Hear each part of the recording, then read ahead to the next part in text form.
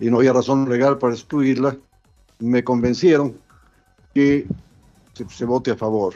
Pero quiero aclarar que después de debatir el asunto entre los miembros de la Junta, hubo el consenso de que la señora Inés Tello de Ñeco podía ser nombrada, pero tenía que cesar en septiembre del 2020. Eh, ese es un, un límite para ejercer la función. Es decir, el que cumple 75 años tiene que cesar.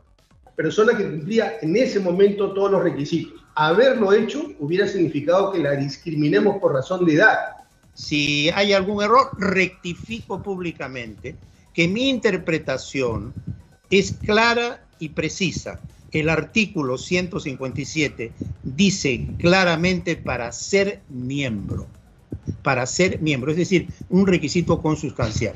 Y esa fue, eh, eh, quería precisar eso con su venia, eh, este, presidenta y señor congresista, quería precisar eso porque bastante se ha movido mi nombre y se ha sacado como un caballito de batalla esta intervención en donde yo simplemente hice una pregunta y traté de ser lo suficientemente explícito, pero tanto para acceder como para permanecer se requiere estar dentro de esos límites de edad. Es decir, si se cumplen los 75 años cuando se es miembro de la Junta, el sexe es automático por imperativo de la propia Constitución. En la subcomisión de acusaciones constitucionales hubo una audiencia en contra de la Junta Nacional de Justicia. Ahí se presentó la defensa de la Junta Nacional de Justicia, pero también se presentaron invitados y los nombres son muy importantes porque en ese caso mencionaron que un miembro de la Junta Nacional de Justicia que ya había pasado los 75 años debió haber renunciado al cargo una vez cumplido los 75 años. Paso a mencionar quiénes son los invitados. Son José Luis Lecaros Cornejo, Walter Gutiérrez Camacho, Ernesto Jorge Blume Forniti y Juan Carlos Cortés Carcelem. En ese caso, magistrados que en su momento eligieron a los miembros de la Junta Nacional de Justicia. Bien, vamos a conocer exactamente cómo sustentaron ellos frente a la subcomisión de acusaciones constitucionales presidida por la congresista Lady Camones. Bueno, habiendo culminado las preguntas a las partes, vamos a proceder a llamar a los testigos. Vamos a escuchar a los testigos y luego ustedes van participando. Vamos a iniciar con el señor Walter Francisco Gutiérrez Camacho en calidad de testigo. Por favor, secretario técnico, proceda a la identificación.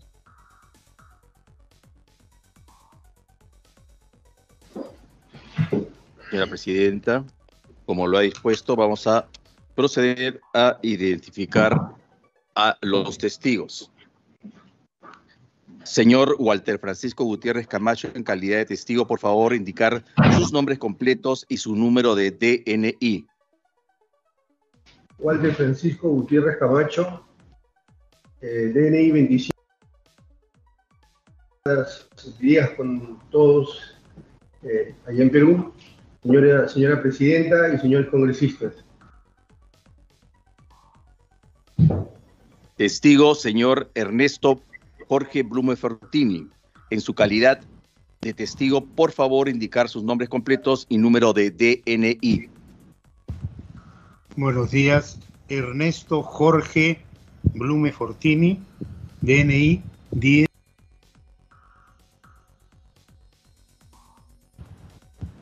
Gracias, señor Blume. Señor José Luis Lecaros Cornejo, en calidad de testigo, por favor, indicar sus nombres completos y número de DNI. José Luis de Carlos Cornejo, DNI 29. Gracias, doctor Lecaros. Señor Juan Carlos eh, Cortés Carcelín, en su calidad de testigo, por favor indicar sus nombres completos y número de DNI. Juan Carlos Martín Vicente Cortés Carcelén, 07 con todos.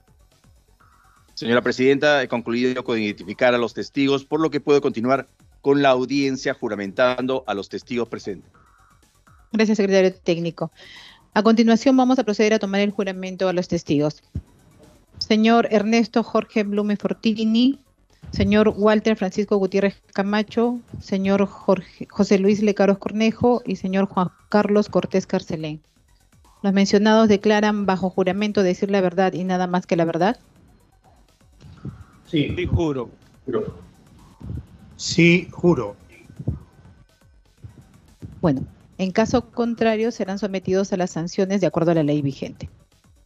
Ofrecemos en este momento la palabra a los señores congresistas a efecto que formulen sus preguntas a los testigos, comenzando si es que considera eh, con el congresista Edras Medida. Cada testigo tendrá tres minutos para responder cada pregunta que se le formule. Señor congresista Medina, tiene usted la palabra. Muchas gracias, señora presidenta. Voy a empezar por el señor testigo José Luis Lecaros Cornejo. Muy buenos días, doctor José Luis Lecaros Cornejo. La primera pregunta es para que nos diga cuál fue su participación en la Comisión Especial de Elección del Concurso Público de Méritos para la elección de los miembros de la Junta Nacional de Justicia. Doctor Lecaros tiene la palabra. Bien, Durante el periodo 2019-2020 yo fui presidente del Poder Judicial y como tal, por mandato legal, era miembro integrante de la comisión que eligió a los miembros de la Junta Nacional de Justicia. Gracias. Para que diga el testigo cuál fue el sentido de su voto en el proceso de elección de la doctora Luz Inés Tello de Ñenco como miembro de la Junta Nacional de Justicia. Como ustedes han visto en la entrevista, yo en forma clara le hice presente a la doctora Inés Tello de Ñeco que ella tendría que cesar a los ocho meses de ser elegida por cumplir 75 años de edad. En tal sentido, la señora dijo que ella había consultado y demás, y se siguió con la entrevista. Cuando se llegó al momento de votar, inicialmente yo me opuse a su elección, pero los demás miembros de, las, de la comisión me hicieron notar que en ese momento, diciembre, fines de diciembre del 2019 o primeros días de enero del 2020, la señora Inés Tello de Ñeco sí cumplía los requisitos para ser nombrada miembro de la Junta Nacional de Justicia. Y ante ese argumento, que evidentemente tenía razón, porque se había ganado el concurso, el puntaje tenía un puntaje alto y no había razón legal para excluirla, me convencieron que se, se vote a favor.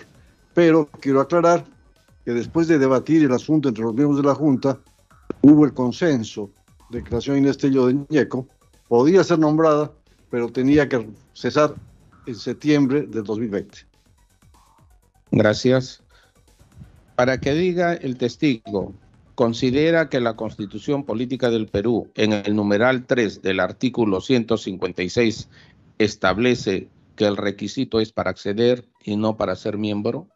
Evidentemente la Constitución dice para ser miembro, contrario censo, el que no tiene los requisitos, o sea, que tiene menos de 45 o más de 75, no puede ser miembro de la Junta. De modo que el, la- el requisito constitucional es para ser miembro, o sea, permanecer en la Junta. Y les pongo un ejemplo. Eh, la propia Constitución dice que para ser postular al Congreso se requiere ser peruano de nacimiento. ¿no? Un señor que es peruano de nacimiento postula al Congreso, sale elegido y jura por cinco años. Pero resulta que los dos años se nacionaliza suizo, belga o ruso o japonés, ¿no? Y renuncian a la nacionalidad peruana. Evidentemente, inmediatamente cesa en el Congreso, deja de ser congresista, porque ha desaparecido unos requisitos que la Constitución dice para postular al, al Congreso. Él no podría decir, señor, yo cuando postulé era peruano y he jurado por cinco años, me quedo en el Congreso. Eso sería pues ilógico. ¿no?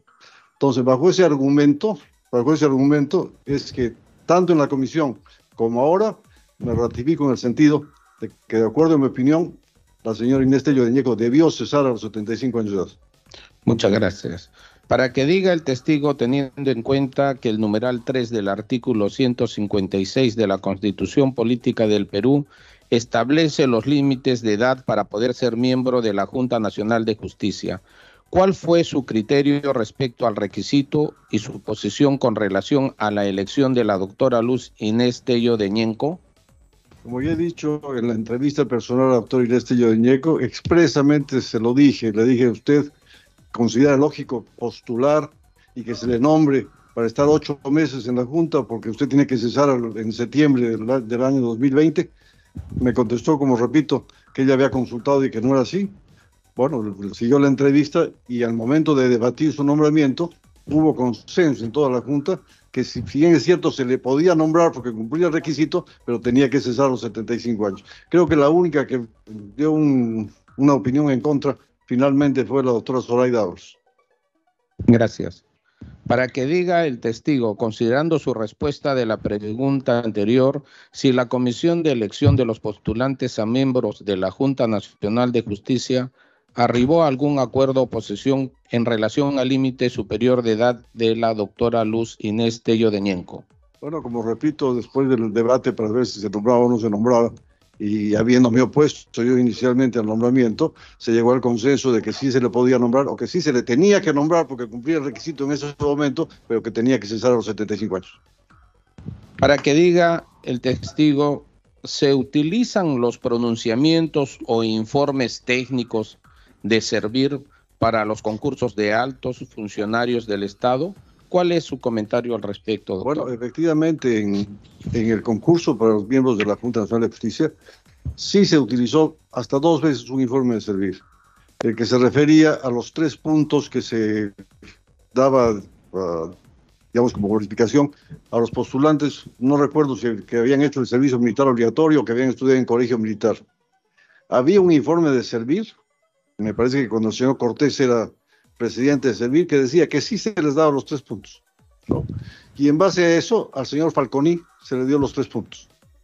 Pero posteriormente, en forma inconsulta, y quiero aclarar que fue inconsulta porque la Junta jamás, la Comisión jamás acordó pedir un nuevo informe de Servir. De pronto apareció un nuevo informe de Servir firmado por la nueva presidenta de Servir o la nueva gerente, ¿ah? que decía contrario a lo que había dicho el anterior informe, que no se le tenía que aumentar los tres puntos. Y en base a eso, el señor Falconi, que había sido designado, se le quitaron los tres puntos y salió del ranking. Entonces sí se utilizó, pero es que eso, los tres puntos de, de, del servicio militar obligatorio, no está previsto en la Constitución, es una norma interna, es una norma laboral. Entonces, obviamente, en eso sí servir tiene, tiene incidencia, ¿no? pero no pues para interpretar la Constitución jamás se le pidió a servir un informe interpretativo de la Constitución. Ese informe que mandó servir, como repito, inconsultamente, porque la Comisión jamás acordó pedir ese informe y de pronto apareció extrañamente ese informe que descalificaba al señor Falconi, ¿no? Era por asuntos netamente de ámbito laboral. Gracias, doctor. Como profesional y jurista de amplia trayectoria, ¿cómo interpreta el requisito del artículo 156, numeral 3 de la Constitución? Se refiere al de la edad, ¿verdad? Sí. Sí, como ya lo he dicho, pues eh, eh, ese es un, un límite para ejercer la función. Es decir, el que cumple 75 años tiene que cesar. Yo podría ponerle como ejemplo, ¿no? Un magistrado en la Corte Suprema es nombrado teóricamente por siete años, porque los siete años tienen que ser ratificados en su nombramiento hasta que se ratifique. Si al tercer año cumple 70 años, tiene que cesar porque cumplió pues el límite de edad. No puedes decir, a mí me han nombrado por siete años, porque mi ratificación recién a los siete años y por tanto me quedo pues hasta los 74 años. Eso no tiene sentido. Gracias, doctor. Siguiente pregunta. ¿Cómo conoce usted al señor Juan Carlos Cortés Carcelén y qué papel cumplió en la comisión especial que evaluó a los postulantes a la Junta Nacional de Justicia de la cual usted fue miembro integrante. Bueno, al señor Cortés yo lo conocí en la, junta, en la comisión, pero antes de eso no lo conocía, y el doctor Gutiérrez, presidente de la comisión, lo contrató como asesor de la comisión. En, esa, en ese rol, él participó en, en, preparar los exámenes, coordinar la preparación de los exámenes, pedir un, balotario de preguntas a varias universidades, en calificar los currículums, etcétera, etcétera. Todo lo que es la cuestión operativa, porque obviamente los miembros de la Junta éramos cada uno titular de un poder del Estado, un organismo constitucional, ¿no? Y no podíamos, pues, personalmente estar calificando currículums. Entonces, se confió, pues, en el señor uh, uh, Cortés. Cortés, señor Cortés, y en el señor uh, García, García Chávez, que se llamaba secretario técnico de la Junta, que era un funcionario de la Defensoría del Pueblo, para que ellos, con apoyo de algunos asesores nuestros, procedan a hacer todo este trabajo operativo en la Junta. Gracias, doctor. ¿Tiene algún comentario o dato que pueda resultar relevante para esta audiencia de la denuncia constitucional 373 por infracción de la Constitución contra los miembros de la Junta Nacional de Justicia? Bueno, el único dato relevante pues es eh, que como todos ustedes podrán, a, a, han podido apreciar, toda la prensa, que está pues gran parte alineada, la entrevista del doctor Blume, donde le dice a la señora Tello en forma hipotética que se quedaría cinco años, ha sido repetida tres veces al día, ¿no? Pero la entrevista, la mía, la que preguntas que dice yo respecto a la edad, nadie las ha, nadie las ha difundido. Creo que un programa la difundieron y nunca más. Eso demuestra pues que ciertas ideologías de algún tipo están queriendo favorecer a, a, los, a la Junta Nacional de Justicia. Y más aún, perdón, más aún, el doctor Blume se ha rectificado públicamente su criterio, ¿no? ¿Y por qué se ha rectificado? Porque en el debate que hubo por el nombramiento de la señora, de la señora Inés Tello de Ñeco, como les repito que yo me puse al nombramiento y hubo un debate, ¿ya? salió convencido de que efectivamente era un límite para permanecer en el cargo. Por eso es que ahora se ha rectificado ¿no? y, y, tiene pues la idea de que la señora Tello debió renunciar o debió cesar a los 75 años. Muchas gracias, doctor. Señora Presidenta, hemos terminado. Esdras Medina eh, puede formular las preguntas a los siguientes testigos. Es lo que corresponde. Es lo que corresponde. Muchas gracias. Eh, doctor, este congresista, solamente para aclararle al doctor Cairo. El orden corresponde primero al congresista delegado, culmina eh, el congresista delegado a hacer las preguntas a, los, a todos los testigos que considere, damos luego uso de la palabra a los congresistas que deseen participar y finalmente entran los abogados de la defensa técnica. ¿sí? Van a tener la oportunidad de formular todas las preguntas que deseen, pero en su momento. ¿ya? Gracias. Congresista Medina tiene la palabra. Muchas gracias. Voy a continuar con el doctor Walter Gutiérrez Camacho. Doctor Walter, muy buenos días todavía, o buenas tardes. Es, para que diga usted cuál fue su participación en la Comisión Especial de Elección del Concurso Público de Méritos para la elección de los miembros de la Junta Nacional de Justicia. Bueno, al tiempo de eh, el funcionamiento de la Comisión Especial, yo era defensor del pueblo y la ley establecía que mi condición de defensor del pueblo no solamente era miembro de la comisión, sino además debía presidir la comisión. Gracias. Para que diga el testigo cuál fue el sentido de su voto en el proceso de elección de la doctora Luz Inés Tello de Ñenco como miembro de la Junta Nacional de Justicia. Bueno, antes de responder puntualmente la pregunta, permítanme eh, hacer un breve contexto. El artículo 156 de la Constitución establece que para ser miembro, entre otros requisitos, para ser miembro e integrante de la, la Junta Nacional de Justicia, debe tenerse más de 45 años y menos de 75. Eh, nosotros eh, leímos, interpretamos la Constitución eh, en el sentido de que este, este requisito era objetivo, era de acceso, pero también, eh, como se ha dicho aquí, en el debate interno, no en las entrevistas, en el debate interno, es decir, posterior en el tiempo, eh, llegamos a la conclusión de que también era para permanecer. Si bien es cierto, la doctora eh, Inés Tello cumplía todos los requisitos, su trayectoria, sus recaudos académicos, y estaba en el espacio eh, temporal eh, que le permitía acceder, nosotros, eh, como le digo, llegamos a la conclusión de que era de acceso y de permanencia. Pero también eh, hicimos esta reflexión. Nosotros no podíamos cerrar el paso ni atajar a una persona que cumplía en ese momento todos los requisitos. Haberlo hecho hubiera significado que la discriminemos por razón de edad. No podíamos nosotros infringir la constitución. Y por eso es que nosotros eh, apoyamos o aprobamos su designación.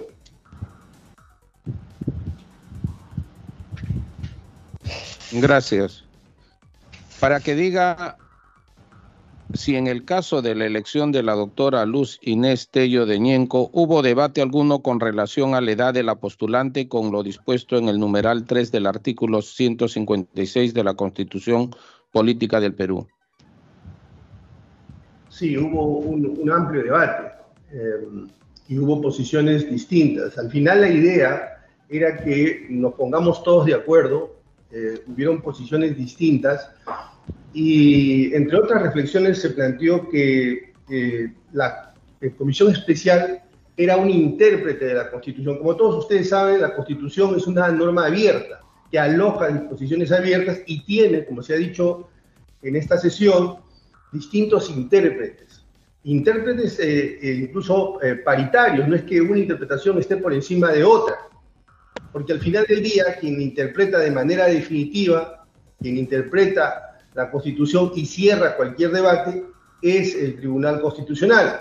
Nuestra interpretación, la de algunos y luego finalmente la que terminó siendo este, consenso, era que la doctora cumplía los requisitos, ese artículo era un artículo de acceso y eventualmente también de permanencia. Doctor, para que diga ¿Se utilizan los pronunciamientos o informes técnicos de servir para los concursos de altos funcionarios del Estado? ¿Cuál es su comentario al respecto? Nosotros utilizamos los informes de servir con un carácter estrictamente orientativo, como bien lo ha señalado el doctor eh, Lecaros. No hay que olvidar que la Junta Nacional de Justicia es un órgano de estatus constitucional lo mismo que el Tribunal Constitucional, lo mismo que la Defensoría del Pueblo. Eh, este es un organismo que básicamente sus normas eh, están vinculadas a quienes hacen carrera eh, pública.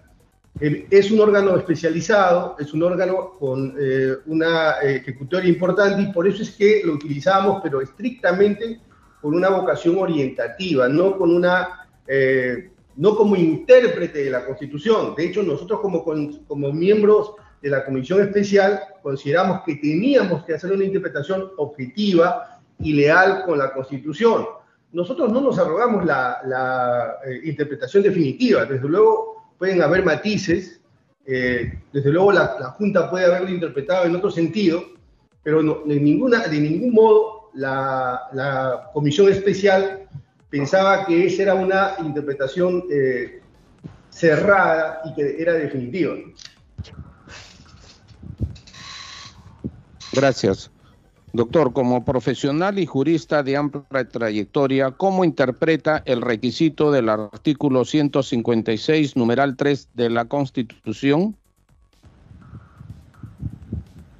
Bueno, como ya lo hemos señalado, eh, nosotros eh, reparamos, nos detuvimos en el término ser, para ser miembro, para mantenerse, no solamente para acceder, sino para ser miembro. Era la interpretación que en ese momento, de una manera objetiva, nosotros considerábamos que era la más eh, adecuada. No podíamos nosotros de ninguna manera, porque hubiera sido arbitrario, cerrar el paso o atajar eh, la postulación de la doctora eh, Inestello. Pero además, eh, permítanos una, permítame una este, acotación. es posible que, como dije hace un momento, dado que hay varios intérpretes de la Constitución, es posible que, por ejemplo, un juez interprete la Constitución, emita una resolución que luego el superior la corrige porque está distante o contraria a la Constitución. Eso no quiere decir que ese juez, eh, digamos, dolosamente o ese juez eh, eh, alevosamente haya querido violar la Constitución. Acabo de decir que la Constitución es una norma abierta y que admite varias interpretaciones. O, por ejemplo, que el propio Congreso dé una norma que contravenga la Constitución y que luego el Tribunal Constitucional declare que esa norma es inconstitucional, eso no quiere decir necesariamente que haya habido una vocación de violar la Constitución. Estamos en una situación donde nadie tiene una em, interpretación definitiva. La que va, quien va a tener esa interpretación definitiva es el Tribunal Constitucional, si por alguna vía esto finalmente llega al Tribunal Constitucional. Gracias, doctor. ¿Conoce usted, eh, perdón, en base a su criterio y experiencia, considera que el criterio de interpretación adoptado por el jurado de la Junta Nacional de Justicia en la resolución 224-2020 JNG del 23 de octubre 2020 constituye una infracción constitucional? Es una interpretación em, distinta a la que hizo la Comisión Especial y como dije hace un momento, es una interpretación que probablemente desde el punto de vista de la Junta era plausible, pero nosotros definitivamente no la, no la compartimos. Eh, lo mismo que ahora, en el ejercicio de sus competencias y sus funciones, el Congreso eh, puede ejercer su función de control e interpretar los alcances y contenido de eh, la Constitución.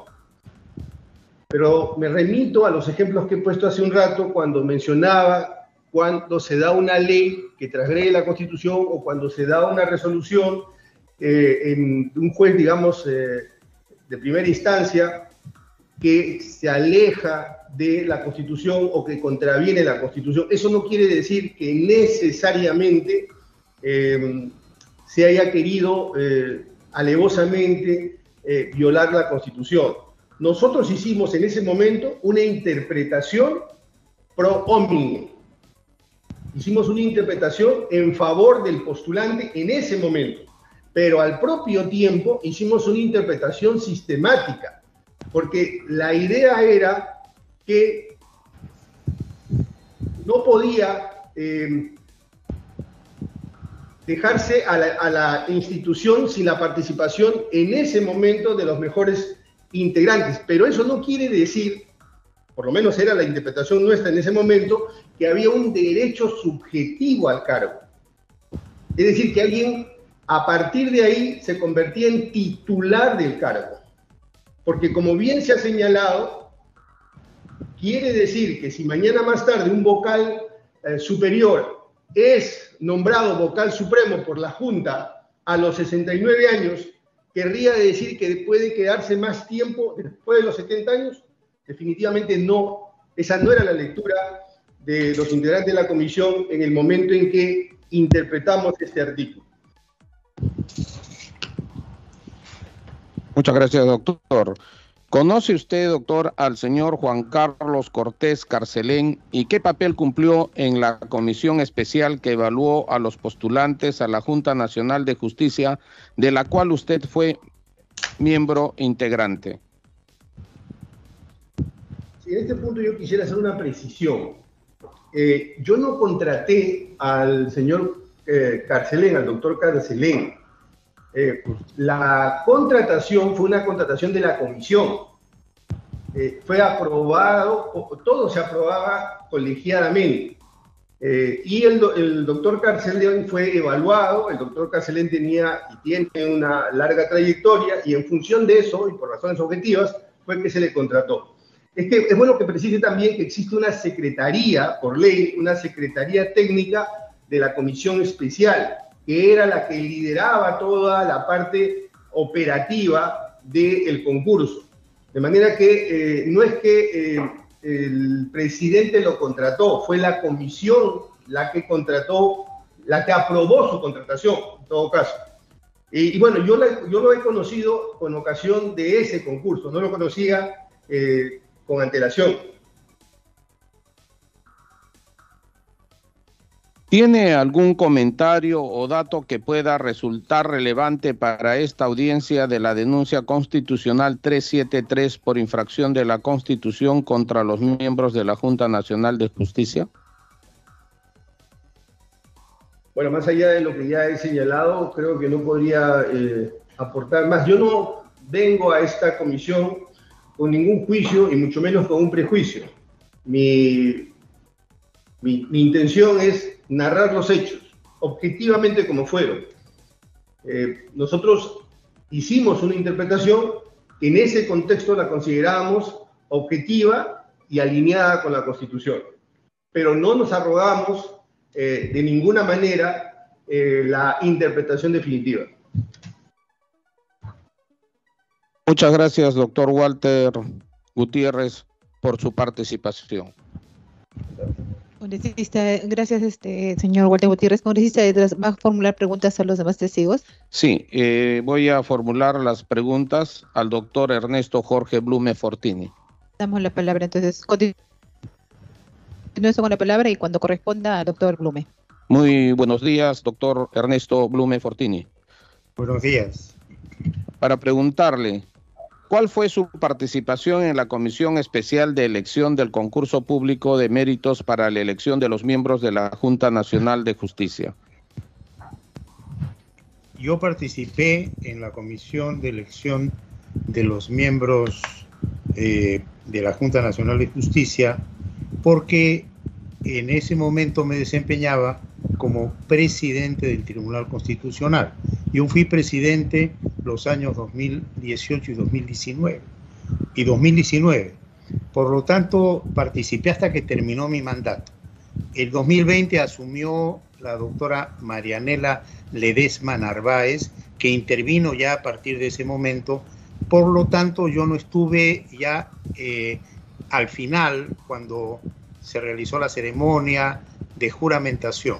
Estuve hasta el mes de diciembre del año 2019 y participé en el marco del artículo 155 de la Constitución que establece cuál es la composición de los miembros de la Comisión Especial, y, entre los cuales está el presidente del Tribunal Constitucional. Pero mi participación a partir de la conformación de la comisión fue como un jurado calificador, es decir, eh, nos legitimábamos como miembros en virtud del cargo del cual proveníamos, pero ya en nuestra intervención, en los debates, en las entrevistas, etcétera, actuábamos como jurado y por lo tanto lo que cada uno de nosotros decía era nuestra posición como miembros de esa comisión calificadora y no necesariamente revelaba una posición institucional. Es decir, la Constitución nos asignó una tarea excepcional, la de, en virtud de ser titulares de ciertas entidades, integrar un jurado, pero desde el momento en que el jurado se conformaba, nuestra participación era netamente como un jurado calificador y en esa virtud podíamos formular preguntas, intervenir en los debates eh, y calificar eh, finalmente a los postulantes. Y por lo tanto, eh, esa, esa fue mi participación. Gracias, doctor. Para que diga cuál fue el sentido de su voto en el proceso de elección de la doctora Luz Inés Tello de como miembro de la Junta Nacional de Justicia. Eh, fue eh, por eh, aprobar su ingreso como miembro titular de la Junta Nacional de Justicia. Pero aquí sí me permite, quisiera hacer una precisión, porque se ha estado difundiendo una intervención mía en la entrevista que se realizó a la en aquel entonces postulante, la doctora Inés Tello de Ñeco. En realidad, eh, en esa ocasión hubo una primera intervención del doctor Lecaros. Y el doctor Lecaros dejó muy en claro que la participación de la doctora Ñeco era en una condición que solamente tenía ocho años, o perdón, ocho meses ocho meses de, mandato, porque a los ocho meses cumplía los 75 años. Y ella, al responder, dijo que, bueno, respetaba mucho la posición del doctor Lecaros, pero que ella había consultado y que para ella el tema eh, era simplemente que ese requisito se exigía para el ingreso, para el acceso, pero una vez que se accedía podía permanecer aún durante todo el tiempo que duraba el cargo aún eh, habiendo ya cumplido los 75 años. Y cuando yo intervine, mi, intervención estaba orientada básicamente a que ella me dijera cuáles eran sus ideas con la experiencia que tenía de lo que había que hacer en la Junta Nacional de Justicia eh, para eh, el debido accionar de esa institución. que empezaba prácticamente con la elección de los nuevos miembros de la Junta. Ese fue el sentido eh, de mi intervención. Es decir, ¿qué va a hacer usted si es que usted es elegida miembro de la Junta? En forma incondicionada al tiempo. Y ahí yo hice una acotación recogiendo la posición de ella, que ella había dicho, bueno, para mí eh, el requisito es solamente de acceso. Entonces dije, bueno, eh, teniendo en cuenta, quizás me faltó completar en mi pregunta que usted ha afirmado que el requisito es para acceder eh, y que luego que accede usted permanece hasta el final, bueno, ¿qué, qué, puede, qué haría usted? Ese fue el, el sentido de mi intervención. Eh, lamentablemente, quizás no fui lo suficientemente explícito y esto ha sido tomado como, digamos, un argumento para decir que el presidente del Tribunal Constitucional y dar, y dar la idea de que todo el Tribunal Constitucional estaría en esa posición, lo cual es equivocado. Porque como bien se ha dicho tanto por el doctor Lecaros eh, como por el doctor Walter Gutiérrez, cuando debatimos sobre este tema, eh, coincidimos que el artículo 153 de la Constitución es claro, nítido e inequívoco para ser miembro de la comisión. Es decir, es consustancial a la calidad de miembro de la comisión el estar, el tener más de 45 y menos de 75. Y por lo tanto no había otra interpretación. Eh, y ese fue el sentido. Yo posteriormente he aclarado y he dicho que si e, esa interpretación de mi intervención eh, se toma en un sentido que no fue lo que yo pensé que estaba transmitiendo, dejo aclarado y en todo caso, si hay algún error, rectifico públicamente que mi interpretación es clara y precisa. El artículo 157 dice claramente para ser miembro, para ser miembro, es decir, un requisito consustancial. Y esa fue, eh, eh, quería precisar eso con su venia, eh, este, presidenta y señor congresista, quería precisar eso porque bastante se ha movido mi nombre y se ha sacado como un caballito de batalla esta intervención en donde yo simplemente hice una pregunta y traté de ser lo suficientemente explícito, pero vuelvo a repetir, el sentido de mi pregunta fue, ¿qué haría usted si fuera elegida? Independientemente del tiempo. Por eso dije en forma incondicionada al tiempo. Pero se ha tomado una parte y como dice el doctor Lecaro, bueno, no se ha, no, no se ha difundido igual la intervención que él hizo y, se está utilizando esa declaración en un sentido que no corresponde. Y en ese, en ese punto pues lo dejo aclarado. Gracias, doctor. Para que diga considera que la constitución política del Perú, en el numeral 3 del artículo 156, establece que el requisito es acceder y no para ser miembro? No, la constitución establece que para ser miembro, tanto para acceder como para permanecer, se requiere estar dentro de esos límites de edad. Es decir, si se cumplen los 75 años cuando se es miembro de la Junta, el sexe es automático por imperativo de la propia Constitución, como ocurre además en todo el sector público, donde los funcionarios públicos, cuando cumplen el límite de edad, cesan automáticamente. Y ocurre en todos aquellos casos en que hay un límite de edad. Y por lo tanto, cuando la Constitución dice, artículo 156, inciso tercero, para ser miembro está aludiendo a un requisito consustancial a la calidad de miembro y por lo tanto se tiene que estar dentro de ese, de ese periodo de edades. Como dice exactamente la Constitución, mayor de 45 años y menor de 75 años. Doctor, para que diga, teniendo en cuenta que el numeral 3 del artículo 156 de la Constitución Política del Perú establece los límites de edad para poder ser miembro de la Junta Nacional de Justicia, ¿cuál fue su criterio respecto al requisito y su posición con relación a la elección de la autora Luz Inés Tello de Ñenco? Mi criterio, de acuerdo a lo que ya se ha manifestado, y esto eh, fue ya, eh, digamos, desarrollado en el debate interno que tuvimos, es que no se le podía negar el acceso porque estaba dentro de los requisitos, pero quedaba claro que tan pronto cumpliera los 75 años tenía que cesar y tendría que entrar uno de los suplentes que también se estaban eligiendo. Doctor, si en el caso de la elección de la doctora Luz Inés Tello de Ñenco hubo debate alguno con relación a la edad de la postulante con lo dispuesto en el numeral 3 del artículo 156 de la Constitución Política del Perú.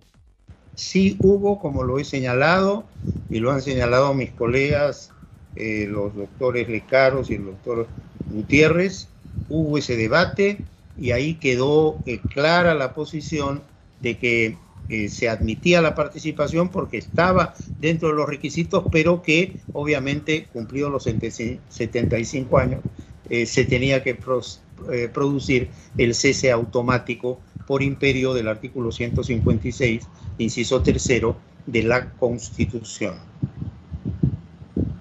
Para que diga, se utilizan los pronunciamientos o informes técnicos de servir para los concursos de altos funcionarios del Estado. ¿Cuál es su comentario al respecto, doctor? Bueno, mire, eh, como también ya se ha dicho, eh, para los temas eh, netamente de normativa operativa, laboral, sí, con carácter ilustrativo, pero evidentemente ello no habilita a utilizar al servir, desde mi punto de vista, y con el mayor respeto por las posiciones discrepantes como una fuente de interpretación de los alcances de la constitución política del Estado. Un tema, además, que eh, desde mi punto de vista eh, no merece mayor interpretación que la que aparece del texto expreso y claro de la, de la Constitución, al, al cual me, me he referido en reiteradas veces en esta declaración. Doctor, como profesional y jurista de amplia, trayectoria, ¿cómo interpreta el requisito del artículo 156, numeral 3 de la Constitución? Como un requisito consustancial a la calidad de miembro de la Junta Nacional de Justicia y por lo tanto de eh, no existir ese, requisito, es decir, de superar la edad eh, ya no hay posibilidad de mantenerse como miembro de la Junta Nacional de Justicia, porque la Constitución es clara y precisa para ser miembro. Y para ser miembro es estar dentro de esos topes de edad. Doctor, en base a su criterio y experiencia, ¿considera que el criterio de interpretación adoptado por la Junta Nacional de Justicia en la resolución 224-2020-JNJ del 23 de octubre del 2020 constituye una infracción constitucional? Mire, eh, a mí no me corresponde calificar eh, en esta condición de testigo si, eh, ese, ese incumplimiento o esa situación, mejor dicho, constituye una infracción constitucional. Eh, son ustedes los que tendrán que eh, calificarlo. Pero a mí me parece que evidentemente es algo impropio que una Junta Nacional de Justicia se atribuya la calidad de intérprete de una norma constitucional tan clara, expresa e inequívoca y le dé un sentido que el legislador constituyente no le ha dado. Y eso me parece sumamente delicado. Doctor, ¿conoce usted al señor Juan Carlos Cortés Carcelén y qué papel cumplió en la comisión especial que evaluó a los postulantes a la Junta Nacional de Justicia, de la cual usted fue miembro integrante? Mire, hasta donde recuerdo, eh, lo he visto eh, precisamente eh, cuando fue eh, eh, contratado en la comisión especial eh, como asesor por su experiencia para darnos apoyo. no, no recuerdo si en alguna ocasión anterior lo pueda haber visto. Admito la posibilidad que, habiendo sido presidente del tribunal habiendo recibido muchas personas en mi despacho o habiendo asistido a ceremonias, etcétera, de pronto en alguna ocasión anterior lo he visto. Pero yo con el doctor Cortés no tengo relaciones de amistad, ni mucho menos. Eh, lo conozco, eso sí, a raíz de su participación en la comisión, y es una persona eh, que como todas me merecen respeto. Doctor, ¿tiene algún comentario o dato que pueda resultar relevante para esta audiencia de la denuncia constitucional 373 por infracción de la Constitución contra los miembros de la Junta Nacional de Justicia? Y no más allá de lo que acabo de declarar, eh, no tengo ninguna información o dato adicional.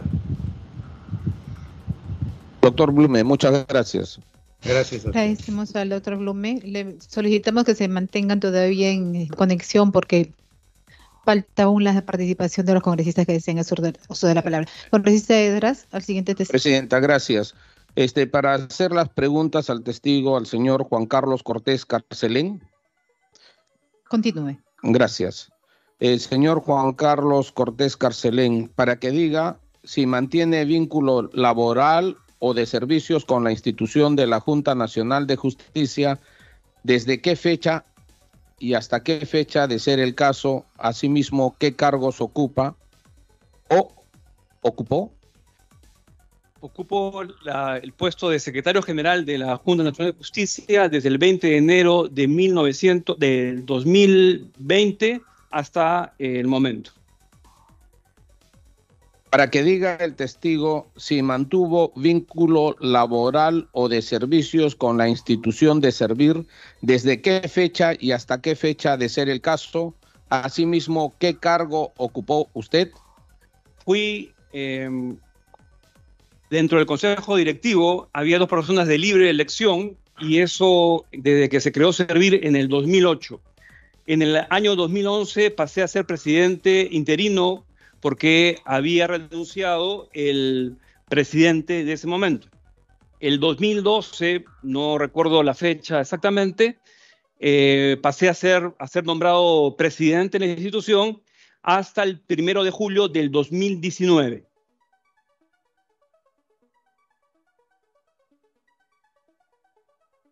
Para que diga el testigo si tuvo alguna participación en la elaboración, revisión o supervisión de los antecedentes y o de la misma resolución 224-2020 JN J de la fecha 23 de octubre del 2020. En mi calidad de secretario general, estoy en la mayoría de reuniones del Pleno, eh, tomo nota de lo que ellos acuerdan y si es que yo promoví que hubiera esa resolución, si es que yo eh, traté alguna relación con Servir eh, o hice cualquier acto para que saliera esa resolución, no, es una decisión como corresponde de los miembros de la Junta Nacional de Justicia. Adicionalmente, digamos, para que ustedes puedan entender un poco cómo funciona, eh, los miembros siempre hacen sus ponencias o sus proyectos de resoluciones y la Secretaría General, cuando ya el acuerdo se ha tomado, lo que hace es la resolución sobre la base de las ponencias. Por lo tanto, digamos, mi intervención únicamente se ha restringido a lo que señala el ROF y a lo que señala eh, las normativas internas de la institución. Para que diga qué funcionario de la Junta Nacional de Justicia elaboró o proyectó la resolución 224-2020 JNJ expedida el 23 de octubre del 2020. Se hace sobre la base de eh, los informes tal como se señala en la eh, resolución. La resolución es simplemente un desarrollo de los informes que ya se habían eh, señalado y eso se puede corroborar claramente. Para que diga el testigo, considerando que el reglamento de organización y funciones de la Junta Nacional de Justicia, en su artículo 13, establece que la Secretaría General es el órgano de la alta dirección que depende de la presidencia encargada de brindar soporte técnico administrativo en las sesiones del Pleno de la Junta, lo que significaría que usted fue quien proyectó o redactó esta interpretación de la Constitución y que luego fue asumida por el Pleno de la Junta Nacional de Justicia. ¿Puede usted confirmar lo manifestado? Proyecto resoluciones o reviso resoluciones para que ellos puedan tomar la decisión. Digamos, esto es una actividad que tienen los propios miembros de la Junta y ellos son, digamos, por sus firmas, declaran y determinan, digamos, sus propias resoluciones. No puede haber una intervención de un tercero, que es mi caso, determinando cuál debe ser la resolución, cuál debe ser la interpretación. Eh, obviamente son decisiones que ellos toman y por lo tanto están plasmadas en sus resoluciones y sus firmas, sobre todo sus firmas. Para que diga de quién fue la iniciativa para consultar a servir sobre un tema de interpretación constitucional. En el pleno se discutieron diversos temas y uno de ellos fue el eh, que sería conveniente el que se presentara una, eh, un pedido de informe a servir. Y eso obviamente se materializó en el documento mediante el cual se pidió a servir que interpretara o emitiera un informe sobre no la Constitución, sino sobre lo que significa en la ley y en la Constitución y en los reglamentos este tema. Pero básicamente en la ley, porque el informe de servir además hace mención a eso para que diga el testigo, considera que servir cuenta con las facultades de interpretación constitucional obligatoria respecto de funcionarios aforados? Lo que hace servir es a pedido, digamos, fue también la comisión, por ejemplo, la comisión que eligió, le pidió a servir, digamos, en realidad una sola vez, porque la otra fue utilizar un eh, informe de hace mucho tiempo, porque yo estaba en ese momento en la, en, el, en la jefatura, pero no era un pedido que se hizo servir, sí se pidió, sí se pidió en la segunda, yo ya no estaba ni contratado y tampoco estaba por la Defensoría y tampoco este, tenía yo eh, ningún tipo de relación con ese pedido, eh, sí es a pedido de diferentes instituciones como, como se, se hizo en ese caso. Eh, Servir tiene, digamos, en mi época recibíamos eh, miles de, pedidos de diferentes entidades para interpretar o para informar o para ver cuál es la normativa aplicable en temas vinculados a recursos humanos, que es lo que Servir hace hasta ahora. Y si eso significa que tiene que hacer e interpretar sobre un tema de bloque constitucional, lo hace. Al igual que hay miles de casos donde autoridades administrativas interpretan la Constitución, al igual que hay diferentes mecanismos, ya sea eh, en los sistemas administrativos de presupuesto, etcétera, etcétera, donde hay una interpretación del bloque de constitucionalidad. ¿Qué es lo que dice la ley y qué es lo que dice la propia Constitución? Para que diga el testigo si tuvo alguna participación en la elaboración y o aportes de los antecedentes del informe técnico número 001 381-2020 Servir GPGSC de la Gerencia de Políticas de Gestión del Servicio Civil de la Autoridad Nacional del Servicio Civil Servir. Yo, yo lamento eh, que en lo que mencionó el congresista Montoya con mucho respeto se insinuara que convenientemente yo era el, fui el presidente de Servir. Nosotros actuamos como profesionales. Soy un profesional. Soy un profesional éticamente con los valores eh, muy claros desde que estaba en el colegio. Entonces, creo que no se puede insinuar absolutamente nada. Yo, hay dos razones fundamentales por las cuales yo no incidí. La primera, porque yo nunca lo haría, nunca lo haría. Nunca, ni siquiera cuando era presidente de Servir, le dije a un funcionario, haz así el informe. sobre el contenido. Nunca lo hice. Y segundo, porque la funcionaria a la que ustedes han señalado nunca aceptaría que yo le dijera eso.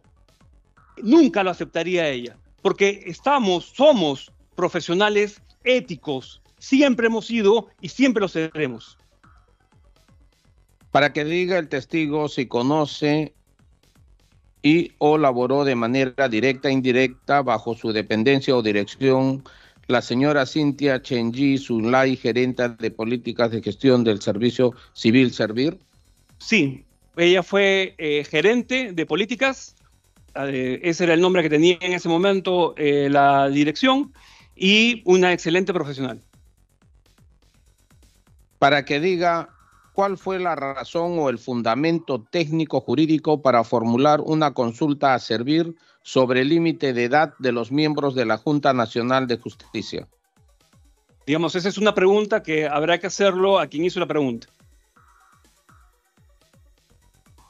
Para que diga el testigo si se implementaron acciones administrativas en la fecha que la doctora Luz Inés Tello de Ñenco como miembro titular de la Junta Nacional de Justicia, cumplió los 75 años de edad, vale decir, el 10 de septiembre del 2020. No le he entendido la primera parte de la pregunta, disculpe, congresista. Si se implementaron acciones administrativas en la fecha que la doctora Luz Inés Tello de Ñenco cumplía los 75 años. No, lo que ustedes eh, conocen, que es los informes que se han emitido por parte de las diferentes entidades. Para que diga si la señora Inés Tello de Ñenco presentó al Pleno de la Junta Nacional de Justicia algún pedido para el pronunciamiento sobre su permanencia en calidad de miembro de la Junta Nacional de Justicia al cumplir la edad de 75 años. Eh, no, y creo que no le correspondería, porque si no hubiera sido un tema de conflicto de interés. Eh, es más, como se ha señalado claramente, ella se retiraba de la sesión, al igual que las diferentes abstenciones que hay eh, con diferentes personas, se retiran de la sesión en el momento en el cual se trata un tema que va a ser sobre alguno de ellos, sobre todo cuando hay una abstención de promedio para que diga si la señora Inés Tello de cumplió el límite de edad constitucional de 75 años el 10 de septiembre del 2020. Sin embargo, la resolución 224-2020 JNJ fue expedida el 23 de octubre del 2020, es decir, durante 43 días la mencionada integrante de la Junta Nacional de Justicia se encontraba en el limbo jurídico y laboral, ya que no se sabía si seguía siendo miembro de la Junta Nacional de Justicia o debía ser reemplazada por el miembro suplente llamado por ley. ¿Cómo se explica esta demora? Los sueldos que percibió durante el interregno y los casos con los que participó la referida magistrada son válidos y tiene plenos efectos jurídicos? Eh, eso es una pregunta que debería eh, conducirse a los miembros de la Junta. Eso es todo, señora presidenta. Muchas gracias, doctor. Gracias, congresista Esdras. Ahora vamos a dar la palabra a todos los congresistas por orden que deseen participar, empezando por la congresista Patricia Juárez. Precisamos que en este momento corresponden hacer las preguntas a los testigos o a la parte de, denunciante o a los denunciados, representados por su defensa técnica.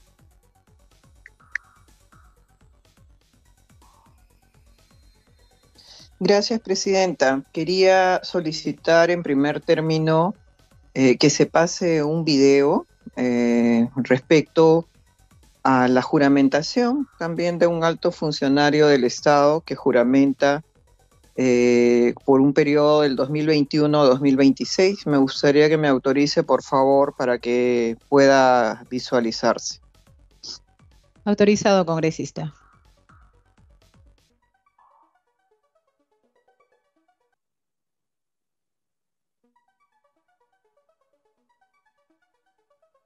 Y muchas gracias. Eh, antes de hacer las preguntas correspondientes, quería iniciar con este audio, por favor, si lo pudiera poner. Autorizado. Muchas gracias, Presidenta. Esta es la juramentación. que se efectúa y lo hemos expresado hace un momento, el sonido no se escucha, ¿no? Sí.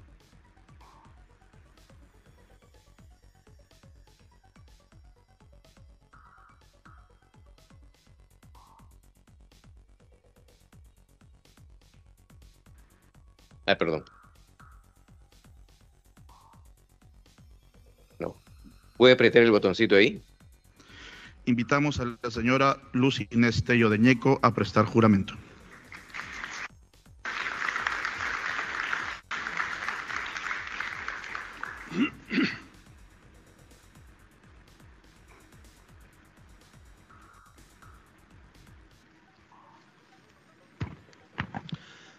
Doctora Luz Inés Tella de Ñeco, Tello de Ñeco, ¿jura usted por Dios y por la patria cumplir con las obligaciones que le impone su nombramiento como miembro titular de la Junta Nacional de Justicia para el periodo 2020-2025? Sí, juro. Si así lo hiciere, que Dios y la patria la premie, o si no, le demanden. Muchas gracias. Este juramento es el que no, no efectúa el propio funcionario, sino se lo efectúa el presidente de la comisión especial en ese momento. Y lo han escuchado, 2025. Esto es público. Si hoy día dicen lo contrario, es un cambio de opinión. Puede ocurrir, las personas pueden cambiar de opinión. Entiendo que el doctor Lecaros ha mantenido su opinión sobre el particular, pero también entiendo, y esta es una evidencia, porque este es- los testigos declaran sobre hechos, no sobre derechos, sino sobre hechos, es un hecho que esto ocurrió, lo pueden ver. Eh, no se ha negado, en ningún momento el testigo aludido ha negado que ha tomado ese juramento. Y si lo tuviera que negar, que lo mencione en este momento, que mencione que eso es falso y ustedes pueden comprobar que es un hecho cierto e indiscutible. Entonces, si a un funcionario público le toman juramento, que puede haber habido un debate antes, puede haber habido un debate antes, pero el juramento que le toma el presidente que representa a la comisión especial, a la institución que lo eligió, le toma el juramento por cinco años, ¿qué puede pensar la opinión pública y la propia funcionaria? Y aquí una pregunta para el doctor Lecaros, que es que fue que integró esa comisión especial. Esta interpretación que él menciona, se le comunicó oficialmente, oficialmente a la doctora Inés Tello, es decir, esa conclusión a la cual él arriba, se le dijo, muy bien, usted ha sido elegida por si acaso por ocho meses. Eso se le notificó, me puede mostrar el acta donde se afirma eso, porque claro, las opiniones hemos visto que cambian. El señor Blume en su momento lo dijo y está evidenciado. Ahora dice, no, me rectifico. Rectificarse después de tres años no es algo muy exacto en relación al hecho. Puede cambiar de opinión y es legítimo, pero lo que pasó en ese momento fue así. En consecuencia, lo que quiero evidenciar, y reitero, aludo a una pregunta directa, si hay un acta, si la tiene a la mano, si la puede mostrar, y si esa conclusión se le notificó a la doctora Inés Tello, ¿por qué? Porque ese juramento es el cierre del concurso, es el cierre.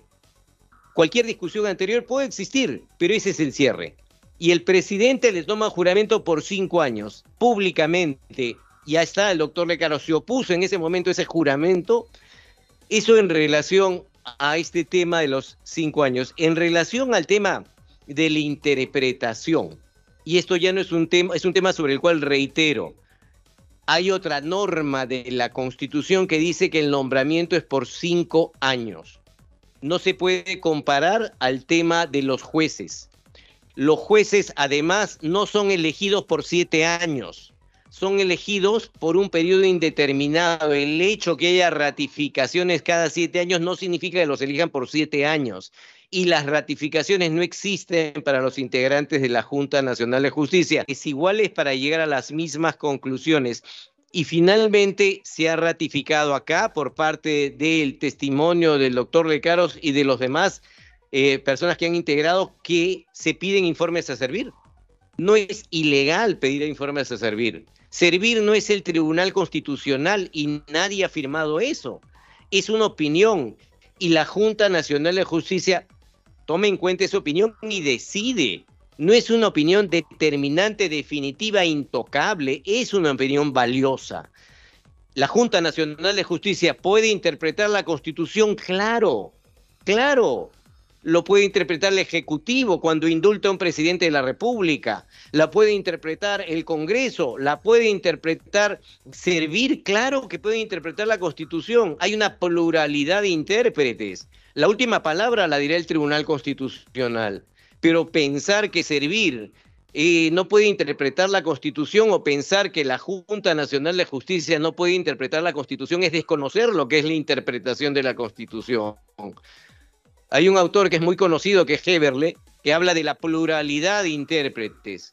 O sea, realmente discutir eso no tiene mucha coherencia. En consecuencia, eh, reitero, solamente quería ratificar lo siguiente, en síntesis, que aquí queda claro que Servir es una entidad que opina que la Junta Nacional de Justicia puede interpretar la Constitución y resolver un caso concreto y que además se le toma juramento por cinco años y que el señor Blume dijo lo que dijo y ahora se rectifica, bueno, puede rectificarse, pero eso lo dijo en ese momento. La opinión del doctor Lecaro se respeta, es una opinión. Los integrantes de la comisión especial no solamente era el doctor Lecaros, no solamente era el señor Blume, no solamente era el señor Gutiérrez, sino eran siete integrantes de la comisión especial. Y aquí solamente hay tres hay tres, faltan cuatro. Si se quiere tener una mirada de conjunto, ¿qué hay que hacer? Ver el acta. Muéstreme el acta donde dice lo que dijo el doctor Lecaros y donde se concluye que la señora Inés Tello tenía que culminar su mandato en ocho meses. ¿Dónde está el acta? Si ese acta se le notificó y si le se notificó, ¿cómo es posible que el presidente de la comisión especial le haya tomado juramento por cinco años? Y aquí no es comparable con lo que dijo la congresista Juárez. Acá no estamos hablando que ella jura por cinco años, no como fue en el caso de Castillo. Acá el presidente le toma el juramento por cinco años. No es comparable, son supuestos totalmente distintos. Eso ratifica que pueden existir opiniones discrepantes y es legítimo. Pero otra cosa es lo que dice la Constitución a partir de una lectura conjunta, cinco años es el periodo, y lo que demuestran los hechos. Y esos son hechos y quisiera que me indiquen dónde está el acta y que la muestren en esta comisión, en este momento, porque es una evaluación de hechos, dónde está el acta que dice lo que dice el doctor Lecaros y dónde está la notificación que le indican a la doctora Tello por si acaso su nombramiento es por ocho meses. Muchas gracias. Presidenta, solamente un minuto. este, una precisión nada más. Cada respuesta tiene un tiempo de tres minutos, así que les voy a precisar que tengan por favor, este, en cuenta ello. Muchas gracias. Congresista Juárez, ¿le damos la palabra al señor Cortés para que responda a la segunda pregunta o prefiere usted intervenir en ese momento? No, no solamente en este caso, Presidenta, si me lo permite, por supuesto.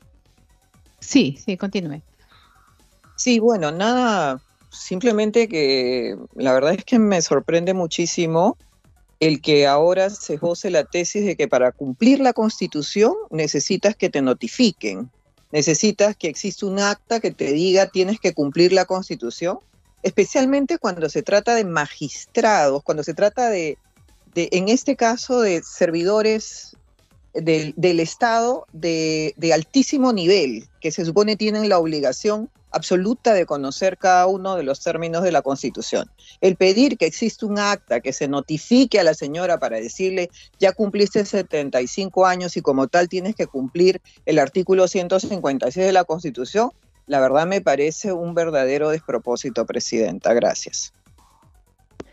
Gracias, congresista. Damos entonces el uso de la palabra al señor Juan Carlos Cortés Carcelén para que dé respuesta a la pregunta formulada por la congresista Juárez. ¿Cómo no? Eh, la primera cosa que habría que señalar es que el decreto legislativo que crea la Autoridad Nacional de Servicio Civil establece claramente en su artículo 10 funciones de la autoridad es emitir opinión técnica vinculante en las materias de su competencia. La materia de su competencia tiene que ver con eh, recursos humanos. La ley de servicio civil, además, regula el tema de los ceses o el cese de los funcionarios. Vemos inclusive el propio informe que hace eh, servir a eh, la Junta, digamos, el cual lo pude leer después que fuera presentado, donde lo que hace es una interpretación basada en la Constitución, artículo 155, eh, el artículo 156, pero también en lo que es la ley orgánica de la Junta Nacional de Justicia. Es decir, no está interpretando únicamente la interpretación, sino lo que está interpretando sobre el eh, llamado bloque de constitucionalidad. Y eso creo que hay que entenderlo. Además, Servir interpreta de dos maneras, digamos, o tiene dos posibilidades. Una es a través de estos informes eh, y opiniones técnicas que tiene, y la segunda, y la segunda es a través de también una instancia administrativa que es el Tribunal del Servicio Civil, donde, por ejemplo, se trabaja mucho vinculado al tema del debido proceso, se tiene que ver el tema de derecho de defensa y habría que ver los miles, las miles de resoluciones que ha emitido el Tribunal de Servicio Civil donde sustenta sobre la Constitución, sobre la interpretación de la Constitución, sobre si en un procedimiento disciplinario se ha respetado o no se ha respetado el debido proceso. Y obviamente, si es que hay una afectación de la Constitución, se está interpretando la Constitución. No podemos decir que no. Es más, diversas instancias, por ejemplo, digamos recientemente, eh, la propia eh, fiscal, ex fiscal de Nación o suspendida fiscal de Nación también hizo una interpretación de la Constitución y, digamos, y muchas personas estuvieron totalmente de acuerdo con eso. Entonces, eh, hay interpretación. Las personas interpretan, las entidades eh, administrativas interpretan, solo que siempre habrá, siempre habrá controles. El control del Poder Judicial o el control en última instancia del Tribunal Constitucional, quien es eh, quien va a determinar si la interpretación es correcta o no es correcta. Pero lo que queremos decir es que generalmente hay una interpretación de tipo bloque de constitucional donde vemos la coherencia existente entre la constitución y la ley. Gracias. Congresista Juárez, ¿va a formular alguna pregunta adicional? No, Presidenta, muchas gracias. Gracias, este, congresista Juárez. Tenemos, damos el uso de la palabra a la congresista Paredes. Gracias, Presidenta. La verdad, después de oír los, los, las testimoniales de los miembros de la comisión de selección, yo estoy verdaderamente angustiada, preocupadísima. Porque ese proceso de selección entonces es el que ha generado los vacíos que hoy nos tienen en esta situación. ¿Qué Cosa tan extraña, miren, un presidente del Tribunal Constitucional, un presidente del Poder Judicial, el defensor del pueblo, gente con muchísima experiencia, el contralor, el representante de las universidades públicas las privadas, nos han dejado un vacío tan inmenso que ha generado este caos. Este caos que puede poner en grave crisis la democracia peruana. ¿Cómo es posible que hombres tan sólidos en su formación, tan extraordinariamente poderosos, los convenzan. Esperen años para rectificarse. Cuando yo esperaría de hombres, y digo hombres porque todos eran hombres los de esta comisión, de repente una mujer hubiera podido dejar las cosas claras y no dejarnos en este problema que estamos viviendo en este momento. Hay que incluir mujeres para que no hayan estas cosas horribles que estamos viviendo. Este problema, y yo quisiera hacer unas preguntas técnicas, señora presidenta, si me permitiera, porque ya como, ya como abogada estoy totalmente destruida moralmente, porque si estas autoridades han dejado espacios para generar esta duda, me pregunto, con la experiencia, hasta la, ex fiscal de la Nación también me preocupa porque la doctora Ábalos tampoco tuvo este, la previsión ¿no? de tener un documento aclaratorio, una adenda, una rayita, una línea que diga, oiga usted, en el caso, porque ellos han estado preocupados por si es que iba a durar ocho meses o cinco años. Lo han discutido. El problema es que los han convencido y después el problema es que a la hora que han votado, después se han tenido que rectificar. ¿Qué luz les ha iluminado? ¿En qué momento? ¿Para que, ¿Por qué no les hubiera iluminado en ese momento para que digan, nota? Como en el debate ha surgido la duda sobre el tema de la edad, ténganse por aclarado que es por ocho meses. Pero no, no existe el documento. Y entonces ahora nosotros, que tenemos que ser objetivas, la señora presidenta, los miembros de esta comisión, el problema en que nos ha metido esta comisión. Preguntas técnicas a los abogados de la defensa de los miembros de la Junta. Primera pregunta para los dos, señora presidenta, por su intermedio. Este vacío que ha producido esta comisión de selección, ¿qué infracciones podría generar hoy día por esa por ese vacío? Dos, tendría que existir un documento expreso que aclare la situación de esos debates que no concluyeron en nada, porque la juramentaron igual y no dijeron nada.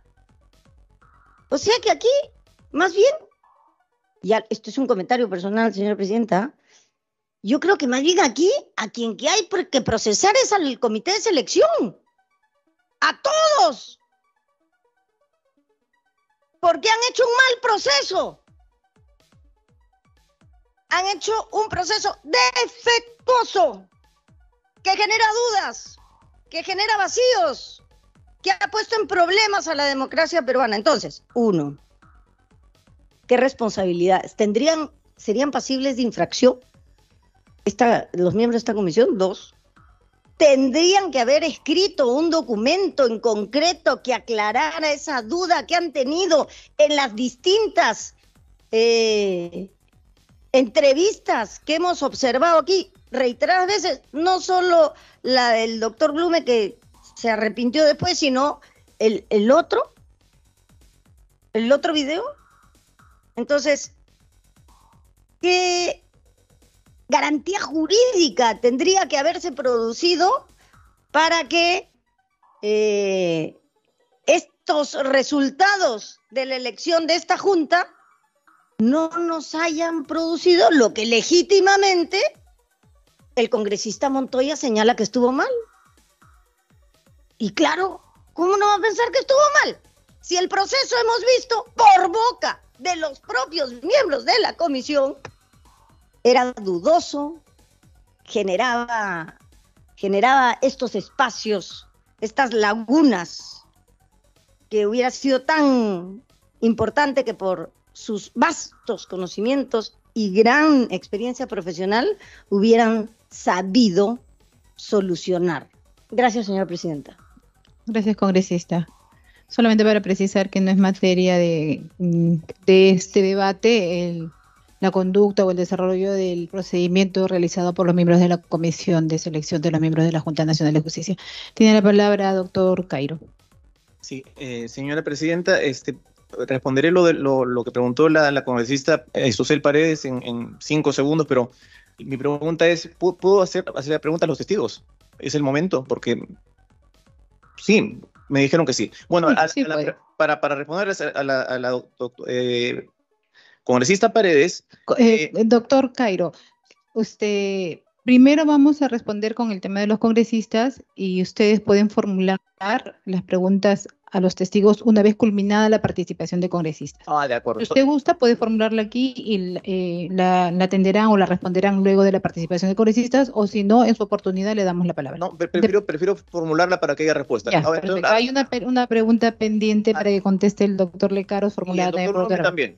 Ya, perfecto. Pero lo de la doctora Paredes, la, la Paredes, la, la- la pregunta este, tiene una respuesta muy sencilla. No hay ninguna duda, el tema no es confuso. La- el artículo 155 establece que a los miembros de la Junta Nacional de Justicia se les, se les, se les nombra por un periodo de cinco años. Nombrarles por un, un periodo de ocho años nulifica el nombramiento. De ocho meses es- nulifica el nombramiento. Es decir, y yo estoy seguro que personas tan calificadas como quien era en ese momento el presidente del Tribunal Constitucional, la persona que más, debí- más sabía o debía saber de Derecho Constitucional del Perú, no ha nombrado a, una, a una miembro de, la Junta por ocho meses. Entonces, el asunto es muy claro, fueron nombrados por cinco años. Ya me reservo para, para, esclarecer esto más con los propios protagonistas. Gracias. Gracias, doctor Cairo. ¿Hay participaciones pendientes de algún congresista adicional, secretario técnico? En la plataforma nadie ha solicitado la palabra, señora presidenta. Bueno, damos la palabra en todo caso en este momento primero para el- que el doctor Lecaros pueda dar respuesta a la pregunta formulada por el doctor Samuel Levat. Doctor Abad, ¿me puede repetir la pregunta, por favor? Tiene la palabra, doctor Abad. Sí, en el contexto que hablamos, estamos hablando de una comisión especial. Usted ha manifestado su opinión, ha mencionado que el tema se ha debatido y que había cierto consenso en que la señora Inés Tello iba a ser designada por ocho meses. Y mi pregunta es si me puede mostrar el acta donde se llega a esa conclusión, porque de la Constitución no fluye eso, de la Constitución fluye que se le designó por cinco años. Y el juramento del presidente de la, de la Comisión Especial es por cinco años. Usted lo ha visto. Y este juramento se tomó al final. Se tomó al final. Es decir, luego del consenso, el debate. Entonces, eh, le pediría que me muestre el acta donde se indica lo que usted menciona y si esa comunicación que implica reducir el periodo, porque está reduciendo el periodo de cinco a ocho meses, se le comunicó a la señora o más bien este, el presidente le tomó un juramento por cinco años de otra naturaleza. Eso le agradecería que nos pudiera responder, porque estamos en un debate de hechos. Usted es testigo, usted es testigo y este es un tema de hechos, no de interpretación jurídica. Bien. Respecto a las actas, eh, la comisión sí tiene actas. Obviamente yo no las tengo en mi poder. Supongo que deben estar pues, en la Defensoría del Pueblo, ¿no? que es la que presidió la, la comisión y cuyo secretario técnico era el doctor García García Chavarri, que es funcionario de la Defensoría del Pueblo. De modo que entiendo que las actas deben estar allí. Por otro lado, ¿no? No es cuando la Constitución es tan clara como en este caso, no es necesario hacer ninguna aclaración en la resolución, ¿no? Porque la Constitución es clarísima, porque también eh, si nombramos un magistrado a los 69 años, el nombramiento no dice nombramos a Juan Pérez eh, juez supremo por un año. Lo, nom- lo nombran y punto, y por mandato legal cesa a los 70 años. Entonces, es- eso no hay que no hay que plasmarlo en ninguna resolución. Y cuando las actas, repito, entiendo que están en la Defensoría del Pueblo. Gracias, doctor Lecaros. Este, el doctor Cairo tiene la palabra. Sí, eh, voy a preguntar eh, eh, con su venia eh, al, al- al doctor Lecaros y al doctor Blume. Eh, ¿Las preguntas son a través suyo o directamente? Autorizamos para que lo pueda hacer. Muchas gracias. Señor Lecaros, eh, ustedes eh, como miembros de la comisión especial están sujetos a la Constitución, ¿no es cierto? Al artículo 155 en, con precisión. Todos los peruanos estamos sujetos. Me parece muy bien. El artículo 155 establece que ustedes deben nombrar a siete miembros por un periodo de cinco años. Teniendo en cuenta ese mandato, ¿es posible que ustedes nombren a un magistrado por menos de ese tiempo? A nosotros, nosotros nombramos al magistrado, simplemente sin periodo, se le nombra, se le nombra miembro de, miembro de la, de la Junta, y es la Constitución la que determina cuándo debe cesar. Me parece, eh, eh, eh, me parece muy puntual su respuesta. La Constitución dice que ustedes, aunque no lo digan, los nombran por un periodo de cinco años. Pero voy a ponerme la hipótesis que usted maneja de que hay que esto interpretarlo como que si tiene 75 se acorta. Bueno, ¿qué, qué debería haber pasado cuando la, cuando la doctora Inés Tello cumplió 75 años? ¿Qué tendría que haber pasado desde su punto de vista? ella eh, a- de- tendría que haber eh, renunciado, la Junta debería haber declarado su vacancia.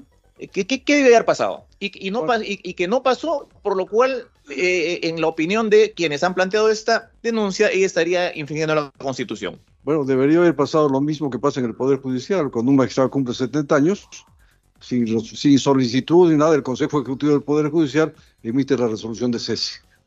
Entonces, usted está, está diciendo que mi patrocinada no infringió la, no infringió la Constitución, sino la infringió un órgano que la que la debía haber emitido su resolución de, su resolución de cese, porque a ella se le está imputando permanecer. Pero lo que dice el doctor es que hay un órgano que le debía haber cesado y no la cesó. Ahora, mi pregunta es la siguiente. El mecanismo para cesar a un miembro de la Junta es la vacancia. Usted supongo que conoce la ley orgánica de la Junta de Justicia y ha sido miembro de la comisión. Entonces la comisión tendría que haber declarado la vacancia de mi, de mi patrocinada. Entiendo que sí. Bueno, yo le informo, o en realidad comparto con usted porque sé que lo sabe, que ninguna de las causales de vacancia es el límite de edad. Si, la, si, la, si, la, si el presidente de la Junta o la vicepresidenta hubieran cesado, declarado la vacancia de mi patrocinada, habrían cometido una ilegalidad. Por una razón muy sencilla, porque el nombramiento es por cinco años. Todo está indicando que no hay mecanismo para cortar un mandato que está establecido no para ocho meses, sino para cinco años, y es lo que usted ha actuado correctamente sin decirlo, nombrándola por cinco años. Esas son mis preguntas para usted y ahora, si se me permite, preguntarle al doctor Lume. Doctor, yo le permito hacer las preguntas que sea, pero preguntas ya no interpretaciones, porque usted tuvo el momento de poder este, ejercer de Muy bien, muy bien, está bien. Tiene usted razón. Disculpe el exceso. Este, eh, para el doctor Blume, eh, mi primera pregunta es, si usted en la, en la Junta Nacional, en la reunión de la comisión, dijo estas palabras, ¿qué medidas eh, a la, a la, a la magistra, a la doctora Inés Tello, ¿Qué medidas tomaría en términos inmediatos, concretos, al asumir el cargo? Acá le hago una precisión, no dentro de los siguientes ocho meses, sino considerando que usted cumple el requisito para postular, que es tener entre 45 y 75 años, y una vez electo, electa, pues, y eso dice usted, la ley no dice que tiene usted que cesar en un tiempo determinado, sino al concluir su mandato. Usted dijo que la ley no dice que ella tenía que cesar en un tiempo determinado, sino a los cinco años? Esa es mi pregunta. Me remito, Presidenta, al video en el cual intervengo y aparece lo que yo digo. Pero aclaro que el sentido de mi pregunta era, habiendo ya intervenido el doctor Lecaros y dejado eh, constancia de que estaba postulando con el problema que tenía de límite de edad, eh, era sobre qué acciones tomaría en forma incondicionada a los ocho meses que le correspondería eh, continuar. Y ahí, como lo vuelvo a repetir, quizás no fui suficientemente claro en mi pregunta eh, y puedo haber dado a entender algo que no era lo que yo pensaba, porque para mí es nítido, indubitable, el artículo 156, eh, inciso tercero. Entonces me remito a las palabras que aparecen en el video con la aclaración que acabo de hacer. Sí, eh, como, como, como premisa de la pregunta que le voy a hacer, no es una opinión, las palabras son, la ley no dice que tiene usted que cesar en un tiempo determinado, sino al concluir su mandato, el artículo 155 dice que eso es en cinco años. Mi pregunta es, porque usted, tres años después, cambia de opinión y dice que sí tiene que concluir, sí tiene que cesar antes de concluir su mandato, lo cual significaría que usted la ha nombrado por ocho meses, cuando la Constitución obliga a nombrar por cinco años. Esa es mi pregunta. Nosotros conformamos una comisión especial que calificó a los postulantes que en ese momento reunían los requisitos, entre ellos el requisito de edad. Eh, y yo cesé en diciembre del año 2019. No he tenido nada que rectificar porque no se suscitó una situación de aclaración a, una pregunta que hice como jurado calificador. Eh, el tema cuando surge después y se me pregunta, yo recién ahí aclaro pero no es que yo me haya rectificado de algo que pensaba así, que ahora pienso así. Esa es una afirmación del señor abogado que yo respeto, pero responde a una apreciación equivocada, equivocada de qué es lo que yo dije y qué es lo que yo pienso. Una pregunta final. Entonces, usted no ha rectificado lo que dijo, que consiste en que la ley no la obliga a renunciar antes de los cinco años. Vuelvo a repetir, el señor abogado pretende que yo diga lo que él quiere que yo diga. Y eso no va a ocurrir, pues, porque me doy cuenta perfectamente hacia dónde va. Eh, vuelvo a repetir, yo intervine como jurado, hice una pregunta en el marco señalado por el doctor Lecaros, que dejó muy en claro cuando le preguntó, usted está postulando y su cargo va a durar, el tiempo de su, de, su cargo será ocho, eh, ocho, meses, porque usted va a cumplir 75 años. Esa era la premisa. Y vuelvo a repetir, mi pregunta estuvo orientada a qué haría ella si era nombrada en forma incondicionada al tiempo. Y ahí hice una afirmación de la cual extrae el señor abogado una conclusión que no corresponde. Quizás no fui claro, pero después lo he aclarado, yo lo reitero. En ningún momento yo he pensado que eh, la constitución habilitaba solamente a los efectos de, la postulación y dejaba abierta la posibilidad así superar a los 75 años. Eso no es así, no he pensado así antes tampoco. Y por lo tanto, eh, dejo aclarado ese punto. Y quisiera aprovechar esta ocasión, la congresista Susel Paredes ha dado una serie de declaraciones, ah, de explicaciones, y no es consciente que este problema ha surgido después, porque la Junta y la doctora Tello no cumplieron la Constitución. Es decir, este problema no existiría si se hubiese acatado el mandato constitucional, el cese al límite de edad. Y quienes originan este problema son los miembros de la Junta y la misma doctora Tello por violar la Constitución desde mi punto de vista. Una pregunta final. El, esta premisa, eh, lo que usted dijo con mucha claridad es que la ley no dice que, que la señora Tello tiene que cesar en un tiempo determinado, sino en cinco años. Eso quedó muy claro y como que me quedó muy claro, señor Blume, no tengo más preguntas. ¿Tiene eh, algo que aclarar eso? Me permite, el señor abogado insiste, insiste en atribuirme algo que no corresponde a mi pensamiento y por lo tanto vuelvo a reiterar, la constitución es muy clara y yo intervine en el marco de la premisa que planteó el doctor Lecaros. Y el doctor Lecaros le dijo, usted está postulando únicamente por ocho meses porque usted va a cumplir 75 años. Y yo cuando intervengo, le digo claramente, en forma incondicionada al tiempo, ¿qué haría usted? Y ahí hago una acotación de la cual se coge el señor abogado para pretender atribuirme sempiternamente una posición que yo no tengo. Si fui, no fui lo suficientemente claro, lo he aclarado y lo he reiterado. Pero cogerse de eso para pretender decir que yo eh, permanentemente he pensado así no es verdad. Y, y, de, y de otro lado, el mandato constitucional se tenía que cumplir. Cuando juraron cuando asumieron el cargo, los señores miembros de la Junta juraron cumplir la Constitución. Y la Constitución en el artículo 156 manda que para ser miembro de la Junta Nacional de Justicia se tiene que estar entre 45 años y 75, no después de 75. Y pretender quedarse después de 75, para mí, es violentar el artículo 156 de la Constitución. Gracias, doctor Blume. Damos la palabra al congresista Esdras Medina. Gracias, señora presidenta. Debo aclarar algunas cosas también para que quede. Eh, los altos funcionarios, cuando juramentan sus cargos, lo hacen bajo una condición suspensiva. Es decir, deben ejercer el cargo siempre en cuando reúnan los requisitos de permanencia. De no cumplirlo, cesan, de lo contrario, pues tendríamos diferentes ejemplos, ¿no? Uno de los ejemplos es en el Congreso mismo. Cuando un congresista juramenta, juramenta pues, por, por su periodo, pero si comete algún error y es desaforado, tiene que salir. Ahora, yo quiero aclarar un asunto que no para entrar en debate, solamente voy a leer la ley orgánica de la Junta Nacional de Justicia.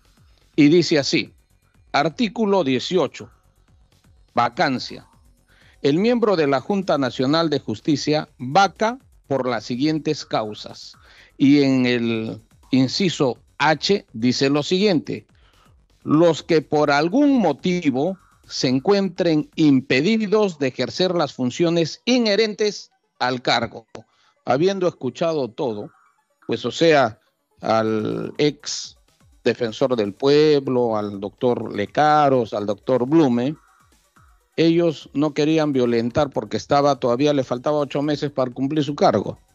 Podía ser de parte de la Junta Nacional de Justicia. Cuando cumplió sus 75 años, tenía que aplicarse este artículo y ese inciso. Gracias, señora presidenta. Gracias, congresista Edras. Ha pedido la palabra el congresista Cueto. Tiene la palabra, por favor.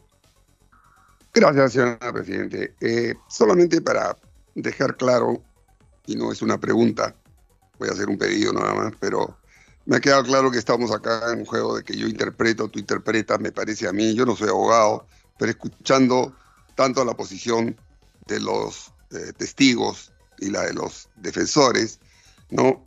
Me parece que estamos en una posición de, y perdonen la expresión, de jugar con las leyes, ¿no? Yo digo, el acta donde está no dice, el otro le pregunta, el otro dice que no, interpretan la Constitución de una manera, cada uno por su lado, si las opiniones son válidas de servir, si puede, bajo esa óptica, pues, pues todo es relativo, estamos llegando a este relativismo de las de las leyes, orientado realmente por, por este tipo de, interpretaciones antojadizas de cada, de cada parte.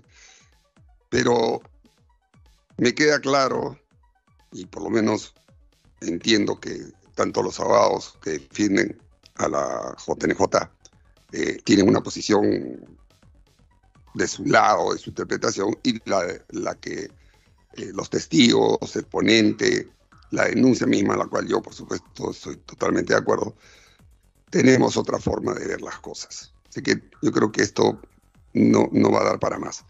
No veo ningún sentido. Lo que sí le pediría, señora Presidente, es que se soliciten las actas de la comisión especial, ¿no? que dice que están en la Defensoría del Pueblo, el video de la misma entrevista completo de la señora Tello y el archivo de la web de la misma comisión especial para que pueda servir como insumo para terminar el informe final de la materia que estamos tratando. Muchas gracias, señora Presidenta. Vamos a solicitar este a la Secretaría Técnica disponga toda la documentación para atender lo solicitado por el congresista Cueto. Asimismo, eh, dejamos o solicitamos al congresista delegado Eres Medina que nos alcance formalmente todas las preguntas que vamos a tener que cursar también a los miembros de la Junta Nacional de Justicia para que nos respondan por escrito. Tiene la palabra. Antes, doctor, la congresista. Adelante, adelante. Sí, tengo una duda matemática. Si el doctor Blume nació el 18 de octubre de 1946, en el 19 tiene 73 años y tenía que quedarse hasta qué edad, hasta los 70. Entonces, si así fuere, como digo, tengo una duda matemática, si así fuere, ¿por qué se quedó? Pero no sé quién me tendría que contestar la pregunta porque yo le tendríamos que ver. Señora presidenta. ¿Me permite? Excelente. que Muchas gracias. Una duda matemática, sí, gracias. Doctor Blume tiene la palabra. La, la respuesta es muy sencilla, porque en el caso de los miembros del Tribunal Constitucional no hay límite de edad, conforme lo establece la Constitución, que la congresista debería conocer por haber jurado respetar, cumplir y hacer cumplir la Constitución y por ser abogada. Gracias, perdón, doctor Blume. ¿No hay ningún congresista adicional que desee hacer uso de la palabra? Oh, doctor este, Cairo, tiene la palabra. Por favor, vamos a escuchar al doctor Cairo. Presidenta, congresista, es una predicción a lo que dijo el, el congresista Esraz Medina. Él dice que eh, se debió declarar la vacancia por estar impedidos de ejercer las funciones. Doctor. Y, este, perdóneme, lo que pasa es que, es, que es, una, es, una, defensa patrocinada. No, yo, yo acá se le garantiza la defensa a todos. Simplemente por el orden del procedimiento, ¿Va a responder o va a precisar Ah, técnicamente? Eh, eh, responder, No, digamos. En todo caso, pues se ha formulado la pregunta. Entonces, pre- eh, si- quiero, quiero precisar porque, porque la norma es muy clara. Le pido. Bueno, le voy a, Muchas caso de que no se indique, no se vaya a pensar que acá no se garantiza el derecho a la defensa, le voy a Me permitir parece hacer la bien, eh, lo valoro muchísimo. Dijo él que el artículo 18, inciso H, dice que por los que por algún motivo estén impedidos deben ser declarados vacantes y por lo tanto, por pa- haber pasado el límite de edad, supuestamente mi patrocinada debía, debía ser este, vacada. El artículo 11 establece los impedimentos, no está el límite de edad. Eso es todo. Gracias, doctor. Congresista Esdra, tiene la palabra. Sí, solamente para precisar este, y que quede este, registrado, es que el informe de servir fue firmado por una economista y no por un abogado. Como Gracias. precisión. Sí. Como precisión.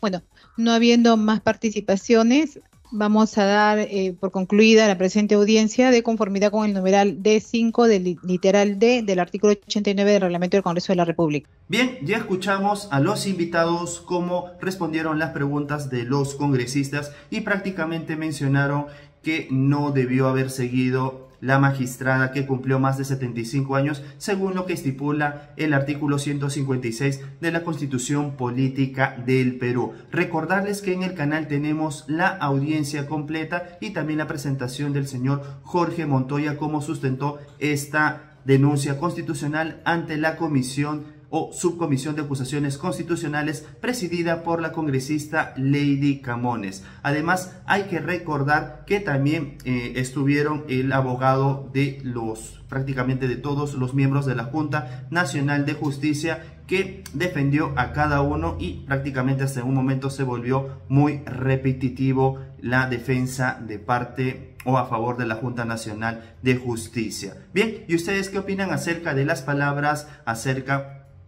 de que eh, un miembro de la Junta Nacional de Justicia debió haber dejado su cargo al cumplir los 75 años. Déjenmelo saber en los comentarios, nosotros los leemos. Somos JF Digital, informó José Fernández para más noticias de política y actualidad peruana.